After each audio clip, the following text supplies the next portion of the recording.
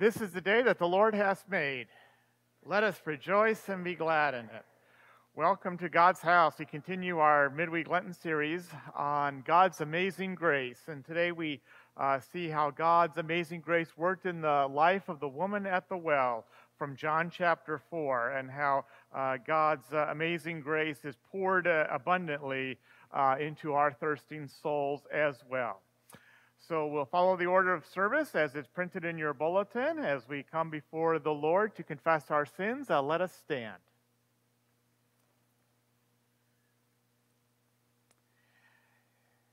In the name of the Father, and of the Son, and of the Holy Spirit. Amen. From Psalm 42 As a deer pants for flowing streams, so pants my soul for you, O God.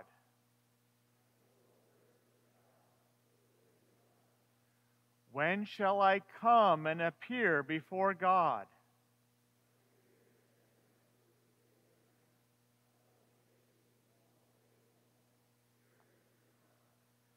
By day, the Lord commands his steadfast love.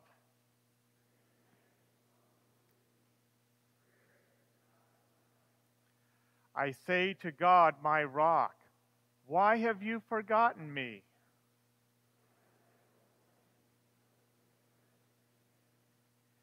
As with a deadly wound in my bones, my adversaries taunt me.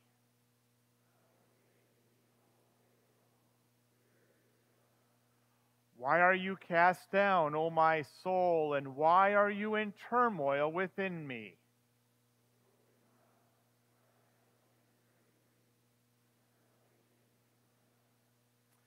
The Samaritan woman met Jesus as he rested beside the well. Jesus knew that this woman had not lived according to God's commandments, but he graciously invited her to drink of the water of eternal life. We do not live according to God's commands as we should, yet he looks on us in grace and love. Let us come before him confident in his steadfast love to confess our sins and ask his forgiveness. Almighty God, Daily we sin against your commandments. We turn away from your word and ways as we thirst after pleasures and temptations to satisfy our own desires. We are sorry for our sins and we thirst for your forgiveness. Have mercy on us and forgive our sins. God has had mercy on us. He sent his Son to be our Savior. Jesus took our sins onto himself, suffering the penalty of death that we deserved. I announce to you that your sins are forgiven in the name of the Father, and of the Son, and of the Holy Spirit. Amen. The living water that Jesus gives becomes a spring of water welling up to eternal life. Please be seated. We continue by singing.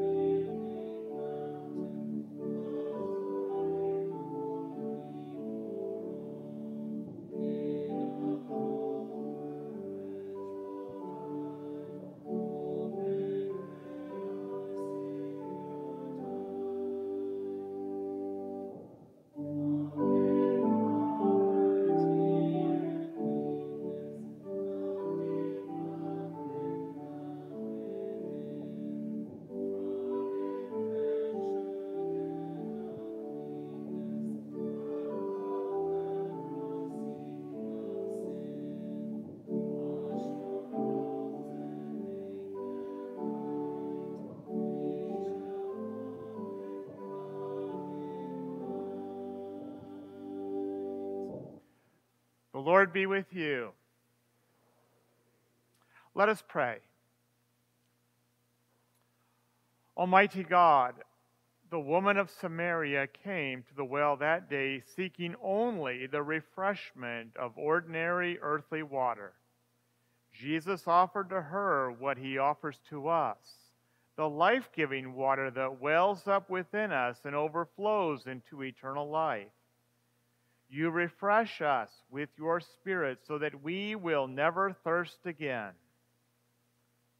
As the woman told others in her town that she had found the Messiah, lead us to be faithful witnesses for our Lord so that people will believe in Jesus as their Savior and receive through him the refreshment of forgiveness and eternal life.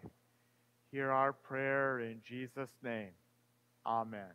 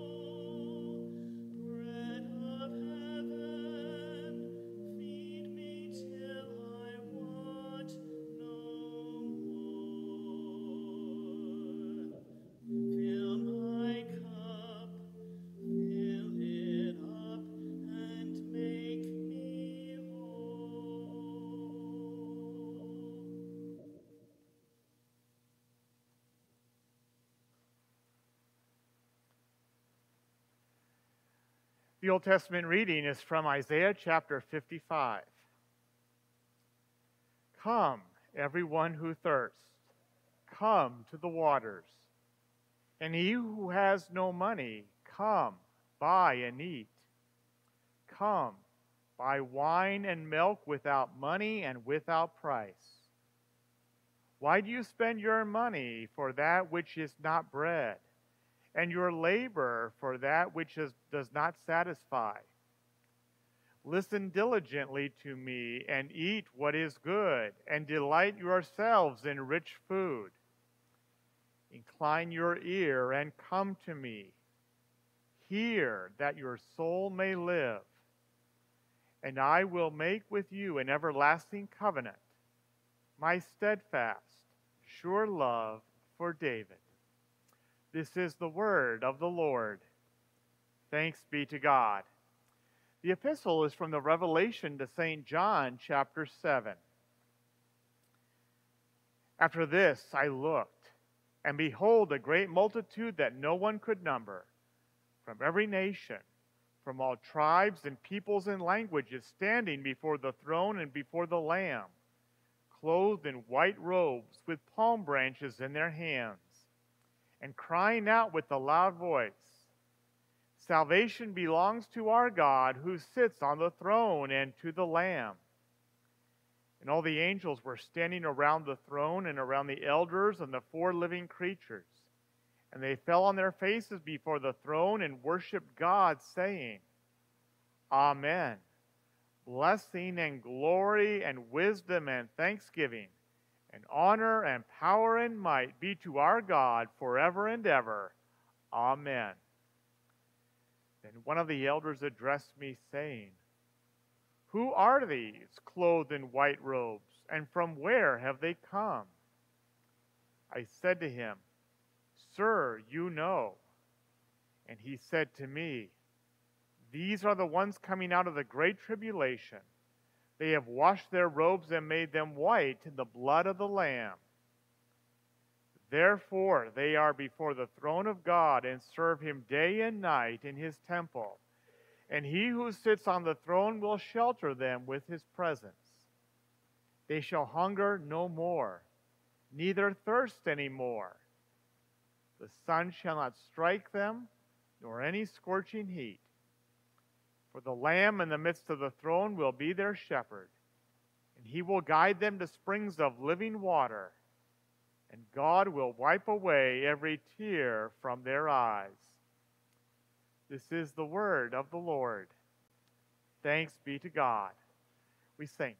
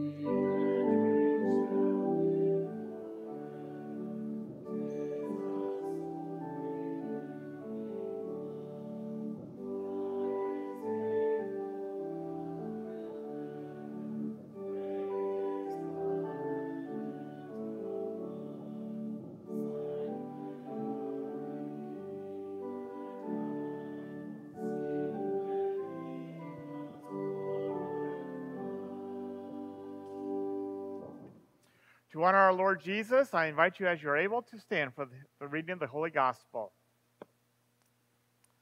The Holy Gospel according to St. John, the fourth chapter. Glory to you, O Lord. There came a woman of Samaria to draw water. Jesus said to her, Give me a drink. For his disciples had gone away into the city to buy food.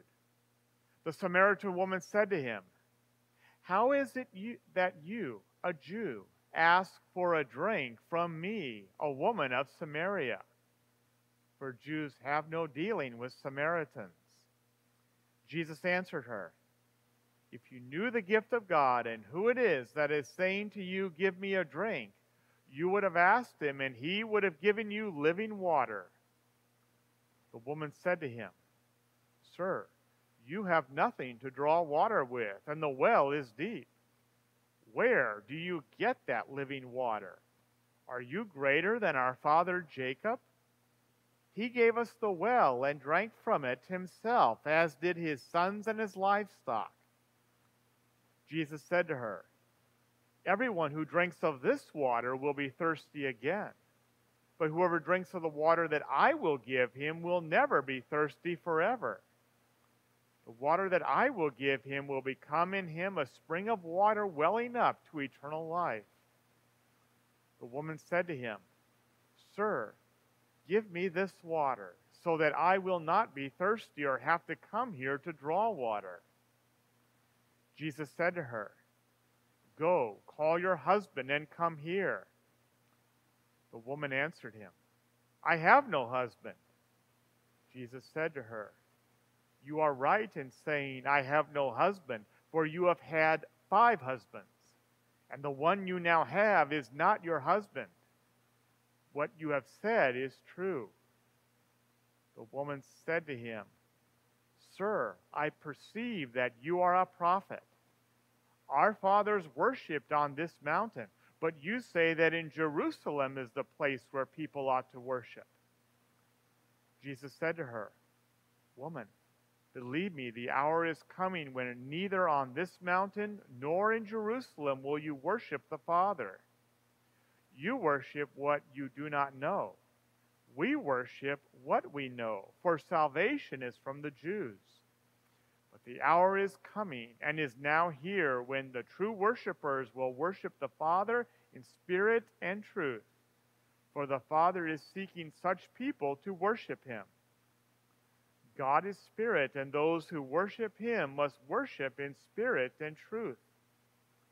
The woman said to him, I know that Messiah is coming, he who is called Christ. When he comes, he will tell us all things. Jesus said to her, I who speak to you am he. This is the gospel of the Lord. Praise to you, O Christ. God has made us his people through our baptism into Christ, living together in trust and hope. We confess our faith.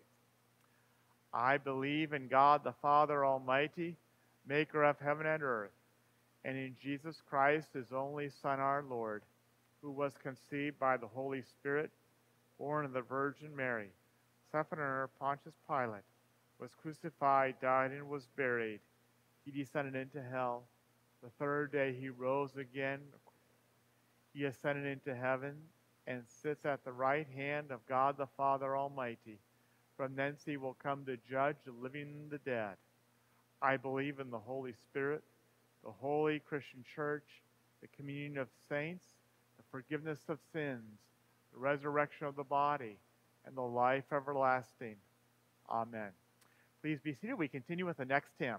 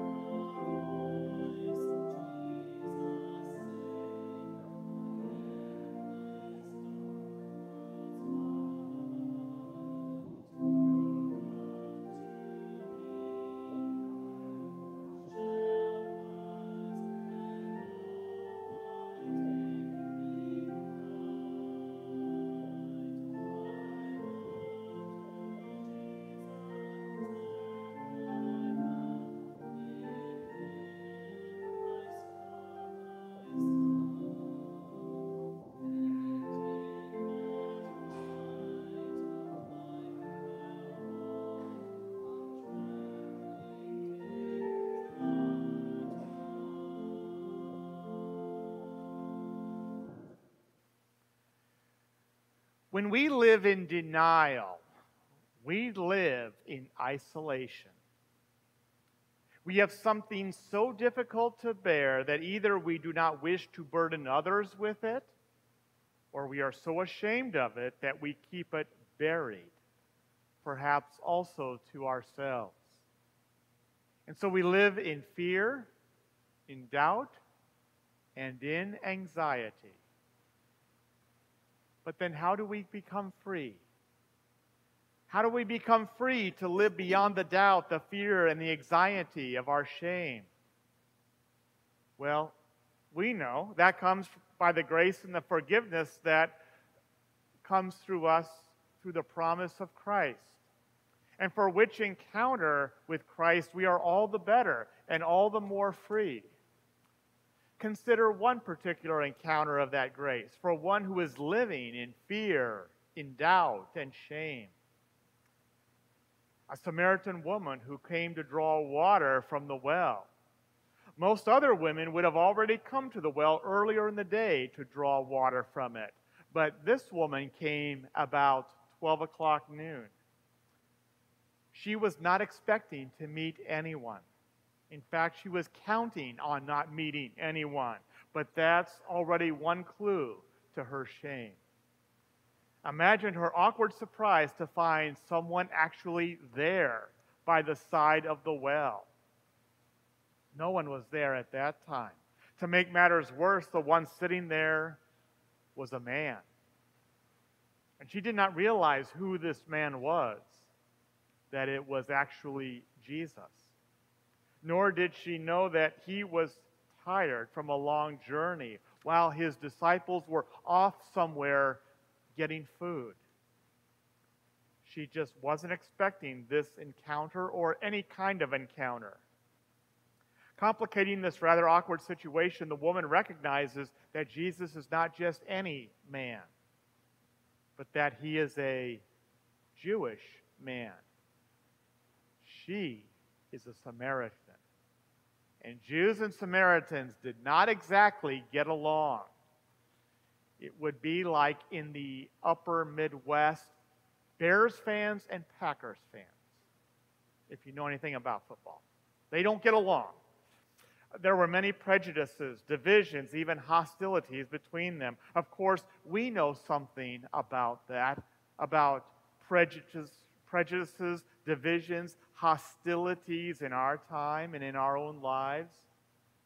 In fact, we often avoid those situations. Perhaps we even avoid those encounters as well. But as we will see, grace makes unexpected encounters. As if it is not bad enough for this poor woman in this particular setting to be caught at noon looking for water and then encountering this male Jewish stranger. That this man, whom we know as Jesus, now has the audacity to speak directly to her Give me a drink. What Jesus did would already be considered a breach of social customs. He should not be seen with this Samaritan woman, let alone speaking to her. Though awkward silence is now broken by an even more awkward command from an unknown man to a woman who wanted to be alone. But might his talking to her in this very unexpected and awkward moment also be a moment in which grace is coming to this woman? Maybe. But she doesn't see it that way, at least not right away. In fact, she makes a point of it, putting up the barriers that have divided not only the genders, but also the peoples but also hiding her deeper frustrations and concerns. How is it that you, a Jew, ask of me, a woman of Samaria? Most of us would be silenced by such a quick comeback, maybe even apologetic. But Jesus is not put off to the point of leaving the woman alone. He knows that she already has so much of that being alone, that loneliness going on in her life. And it's not exactly that she is alone in that either. Loneliness today also consumes us. Instead, he dares to speak to her yet again to make this a moment of grace, a grace moment. And so he explains his attentions of grace to her. He says, if you knew, if you really knew the grace of God and who it is that is saying to you, Give me a drink, you would have spoken to him and asked him, and he would have given you living water. Sir, you have no bucket, and the well is deep. Where do you get that living water? Are you greater than our ancestor Jacob, who gave us this well and with his sons and his flocks drank from it? The word sir is something we might say perhaps to uh, someone who is our elder or, or, or a person whom we only have a business dealings with. We need to be polite to. And perhaps this first use of the word sir by this woman has some of that connotation. It is respectful, but really only so far. For now, the woman is only intrigued at best. Jesus mentioned living water. Where is it? She wonders. Where are these flowing streams of living water so that she can go find it for herself whenever she wants it? She would like to know so that she would not feel so constrained to keep coming to this well day after day, always in hiding, and instead find flowing streams for her life. But Jesus graces her life even further, saying, Everyone who drinks of this water will be thirsty again, but those who drink of the water that I will give them will never be thirsty. The water that I will give will become in them a spring of water gushing up to eternal life. Sir, give me this water so that I may never be thirsty or have to keep coming here to draw water. Here is the second time she calls him Sir, and this time with a, maybe a little bit more respectful tone. Perhaps she's getting somewhere now. Maybe this stranger Jesus is on to something of interest. So she dares to trust that he may not, not, may not only know where such living water is, but that he could actually provide it. After all, might such living water be better than the still waters of this well? But she is also letting down her guard of the secret she is hiding. What she betrays in this moment is that she is tired of her daily, mundane, routine attempt to keep coming over and over to this well of Jacob. And also why it is she keeps coming at this time of the day. Jesus will indeed call her out from that, call that out from her, not to embarrass her, not to feel, make her feel any more awkward than she already does, but she will call that out from her to free her, to give her the courage to stand in truth. So he says back to her, Go call your husband and come back. I have no husband. Now keep in mind that Jesus only pursues this conversation at this point with such gentleness in order to free her from the darker truth she does not wish to have exposed. And he makes his next statement to her with that spirit of affirming gentleness. You are right in saying, I have no husband, for you have had five husbands. And the one you now have is not your husband. What you have said is true. It may sound like Jesus is putting this woman on the spot. But really, this is a moment of her freedom. Her freedom from shame, her freedom from fear and doubt, hostility, and division. She does not need to fear in Jesus' presence. He knows all about her secret, but he still sees her with grace and wishes her to be free in that grace. Regardless of her status, he does not look upon her with shame, but he looks upon her with grace. Let's be honest, my friends, we also have deep, buried, dark secrets and skeletons in our closets as well. We're afraid of the truth being disclosed, afraid of the criticism, the judgment, afraid of being mocked, scorned by others. That's why we keep these things hidden, away from others. We don't want them discovered. But even for us, Jesus does not look upon us with shame. He looks upon us with grace. And his grace is far superior to all judgments, real or imagined. In Christ, we do not need to be afraid or ashamed.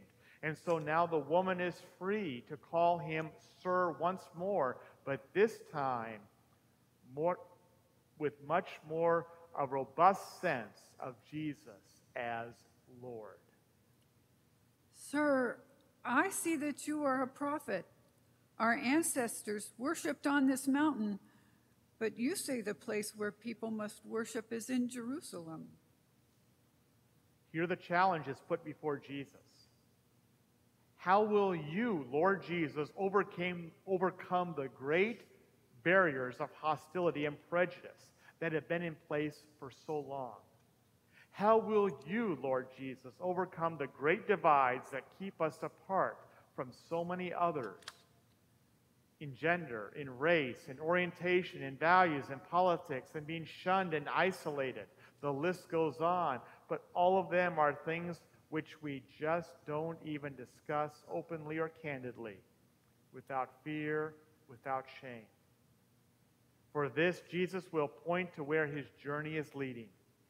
His will be the hour that will bring reconciliation between us. And his hour is his own cross, where all prejudices, hostilities between peoples are put at rest in his body and his blood shed for us, where the path of violence and hostility gives way to the path of peace, and where the shame of our sin is overcome by healing and wholeness his hour, His cross brings this grace to us all. So Jesus says to the woman, The hour is coming and is now here when the true worshipers will worship the Father in spirit and truth. For the Father seeks such as these to worship Him. God is spirit, and those who worship Him must worship in spirit and truth. Grace makes unexpected encounters.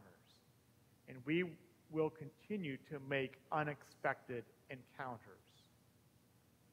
It encounters all of us in our darkness and frees us to the truth that real, we really do not need to be living in fear and alienation from others, that we do not need to be afraid of our own past and the truth of our sins Instead, we are spirited to a new truth, the truth of Jesus himself. For the woman at the well, this truth now stands before her, and now she is already a heartbeat away from her own bold confession of faith. I know that Messiah, the one who is called Christ, is coming. When he comes, he will proclaim all things to us. Jesus says to her, I am he, the one who is speaking to you.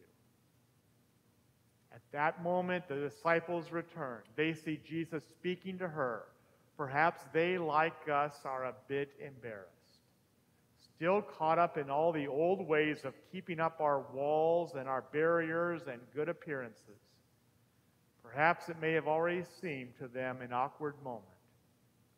Why is Jesus engaging in conversation with one who is so distant, so foreign, so shameful?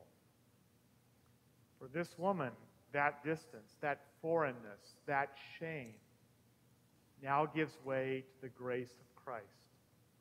The grace that overcomes all sin and division, that leaves no one ashamed or afraid or even afraid of encounter. we become a people with the fullness of living water, his spirit and truth. But Jesus' own disciples have some growing to do in that grace. This was not the last time that Jesus would have been left alone by his disciples. We know that he was also left alone at the hour of the cross, which also came right about noontime. At that hour, Jesus was tired and thirsty, but his disciples, nowhere to be found. Even on that occasion, and despite his thirst, he would offer the living water of his own life, his own being, for us all. But his disciples were living in a locked room, perhaps ashamed of themselves, afraid of any encounters with the outside world, alone in their shame. Yet for them and for us all, Jesus would then come later after his resurrection and say, Peace be with you. Grace makes une- unexpected encounters, as it did for his disciples. The woman of this story, however, has fled this scene, but not in fear and shame. She leaves behind her water jar, the symbol of all the old water of the well of life. Now she flees with a newness of living, of the living water she has running through her veins The grace, the gift of grace that she has received from Jesus. For her, it was like Easter morning. She will run to the others with all the boldness of a new woman, with truth and a spirit that, that she still shakes from the sheer joy, all for which she was once afraid and ashamed. But now, all of that is over and forgiven. What lies ahead now is a life of living in that newfound grace and freedom. Come and see a man who told me everything I have ever done. He cannot be the Messiah, can he? The woman witnesses now to others. These are first of many such grace encounters. Others will now come to Jesus and will not miss their own chance to make encounters with him and with his grace. And like the woman, they too will let go of the truth of their old lives of sin and fear and shame, and instead embrace the boldness of Jesus' living water running through their veins. There are no more barriers to grace. Jesus the Christ has indeed come. He told me everything I have ever done. So others from Samaria came to be with Jesus, and there would be celebrations of grace that would last for days more in his presence. And in the sharing and the gatherings of his grace, they would also come to make their own bold testimonies, saying to the woman with gratitude, but also with personal joy in the presence of Jesus.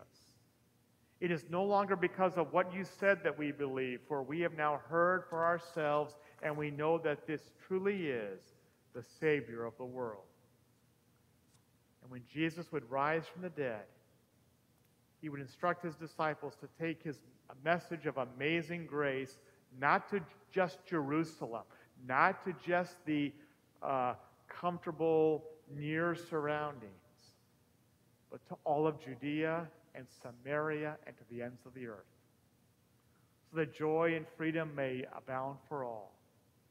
For grace makes un- unexpected encounters, breaks down the walls of anger and hostility, sin and death, and fear and shame. My friends, we are graced with the living waters of Jesus, the Christ, who has overcome our fear and our shame.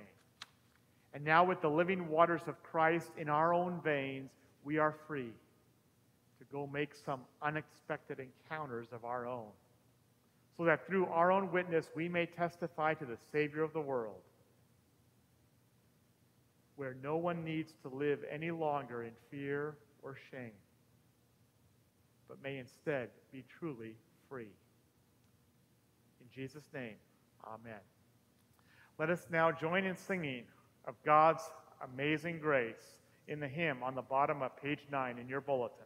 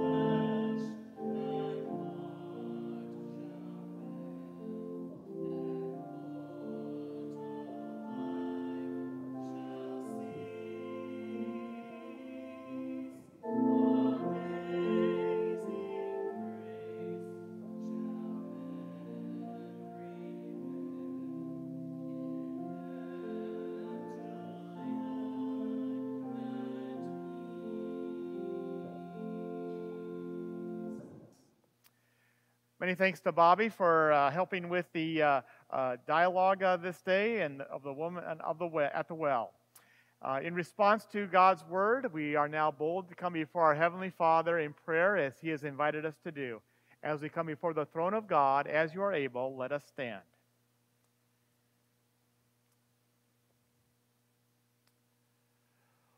Lord Jesus, you graciously invited the Samaritan woman to believe in you as the Messiah and Savior, to drink of living water of the Spirit. We too trust in you as our Lord and Savior. You have given to us the gift of the precious living water that is the Spirit of God welling up to eternal life. Gracious Lord, Lord Jesus, we pray that you would continue to sustain us with your Spirit during this earthly life. Fill us with the peace and hope that are found only through repentance and forgiveness in your name. Help us to grow in grace and strength of faith through the study of your holy word, so that we might serve others in your name. Gracious Lord, Lord Jesus, we pray for those who thirst for help and hope in their suffering. Comfort those who face illness, grief, and loss in their own lives and in the lives of loved ones. Empower us by your Spirit to comfort them with the promises of your word. Gracious Lord, Lord Jesus, we look forward to the day when we will live forever in your presence and drink from the water of the river of life in paradise. Until that great day, lead us to show mercy to others and to share our blessings to satisfy their earthly needs, their hunger and thirst. Gracious Lord, Lord Jesus, you asked the Samaritan woman for a drink of water, beginning the conversation that led her to trust in you as her Savior. She then told the people of her town about you, and they too believed. Help us by your Spirit to begin such conversations with our friends and neighbors, so that they will believe and worship you as their King and Savior. Gracious Lord, Jesus' name we pray. Amen. Lord, remember us in your kingdom and teach us to pray. Our Father, who art in heaven, hallowed be thy name. Thy kingdom come, thy will be done, on earth as it is in heaven. Give us this day our daily bread, and forgive us our trespasses, as we forgive those who trespass against us. And lead us not into temptation but deliver us from evil. For thine is the kingdom, and the power, and the glory, forever and ever. Amen. After this I looked, and behold, a great multitude that no one could number, from every nation, from all tribes and peoples and languages, standing before the throne and before the Lamb, clothed in white robes with palm branches in their hands, and crying out with a loud voice, Salvation belongs to our God who sits on the throne and to the Lamb.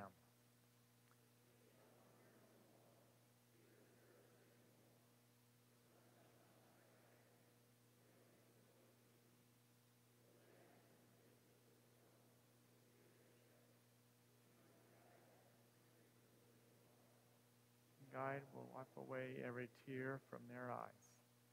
The grace of the Lord Jesus Christ, the love of God, and the fellowship of the Holy Spirit be with you all. Amen. We sing.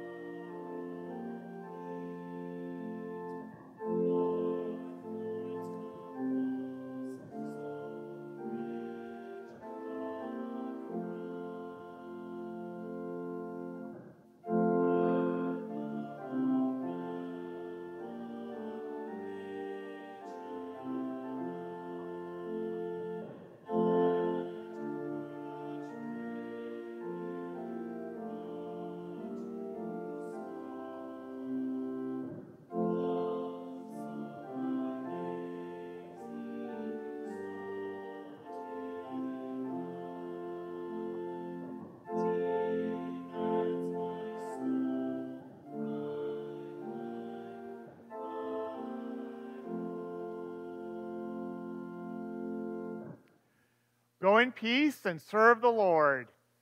Thanks be to God.